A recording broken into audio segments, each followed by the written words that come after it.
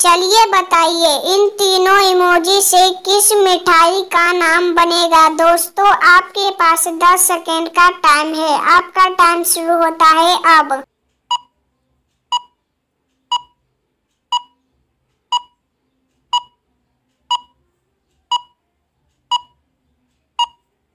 दोस्तों, इन तीनों इमोजी से बनेगा गुलाब जामुन का नाम। हाँ दोस्तों, गुलाब जामुन का नाम, क्योंकि दोस्तों पहला है गुलाब तो दोस्तों गुलाब, और दूसरा आदमी जा रहा है तो जा, और तीसरा मून तो मून, गुलाब जामुन। दोस्तों, अगर आपको हमारा वीडियो अच्छा लगा हो तो वीडियो को लाइक करें, चैनल को कर ले, सब्सक्राइब।